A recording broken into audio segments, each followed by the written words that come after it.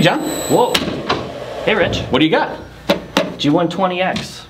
Pumping- G120X. So I've heard of the G120. We've talked about that before. What's the X all about? Uh, it's a similar family. Um, it's more industry specific. Uh, pumps and fans is what we're looking at, and compressors. Okay, so it, it looks a lot like a G120. So a little bit different, you know, internals from a power perspective. I'm assuming some different capabilities as far as what the control unit does and, and how it drives or turns motors. And it's one it's one device. You can't get a separate control unit. Okay. The control unit and the power module are all in one. Okay, all one single device. Got it. Okay, and so industrial pumps and fans.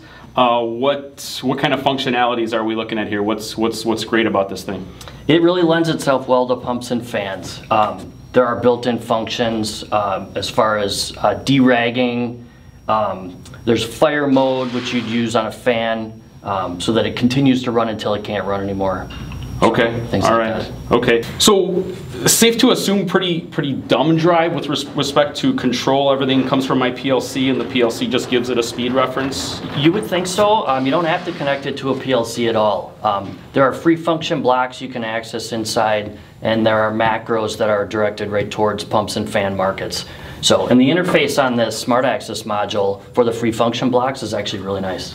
Okay. So free function blocks. Are we talking about putting logic into the drive? If this, then that type of thing. Uh, not quite. Um, it's ands and or gates. Um, there's some timer functions, um, things like that. Boolean logic. Okay, so if it gets a shutdown command, but I want it to go for 20 seconds after, I can have that timing inform or have that timing delay built into the drive as opposed to some external control device. Yep. Oh, very nice. Okay, sweet. So, uh, safe to assume that if we're talking about the industrial pump and fan market, we're talking about a lower price point as well compared to the other drive families. Correct. It does. It's not as uh, feature heavy. Um, so yeah, they are quite a bit cheaper and pretty re- readily available right now as well. Okay, all right. What about communications? What, what does this guy have from a communications perspective? Uh, you can get a Profibus version or a serial version. Also, uh, Profinet. Profinet, okay. Yeah. What, what about, um, you know, all the other drives talk Ethernet IP. What about this guy here? I'm glad you asked. Um, the Profinet version also does Ethernet IP. You change one parameter, now it's uh, Ethernet IP. Okay, so I don't have to buy a separate device or a separate communications module, change the parameter, and away it goes. That's correct. Okay, all right.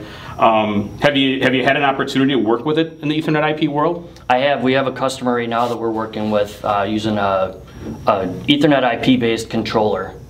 So, so uh, I, I safe to assume that we've got all the you know appropriate configuration files and function blocks and things like that in, in the you know in the Rockwell world. These would be EDS files and AOI blocks. Yep, those are predefined based on the uh, telegram that you choose to use with the drive. So Okay, all right. And so from a configuration perspective, I see we've got the we've got the IOP here. Uh, you know, on the G120, something that's kind of nice is you've got that smart access module where you can access it from a mobile device. That Same. works on this as well. it does. Yep.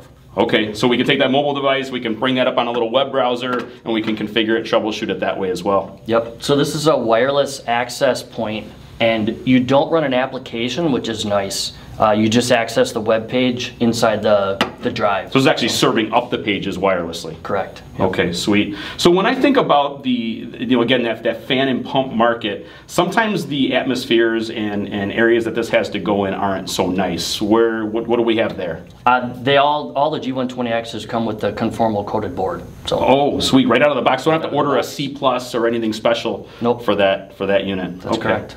All right, great. Um, so yeah, so we got communications. Uh, obviously, we can con- control it via digital I/O as well.